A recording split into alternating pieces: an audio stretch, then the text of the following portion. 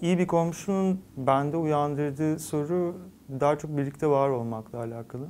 Sadece Türkiye değil, bütün dünya bence böyle çok büyük bir kutuplaşma içerisinde ve e, son zamanlarda ben kendim yani sevdiklerimize nasıl karşı çıkacağımız ve karşı çıktıklarımızı nasıl kucaklayacağımız gibi bir, bir meseleyle ilgileniyorum. Biennale'deki işimde ki hikayeler de aslında bundan bahsediyorlar biraz.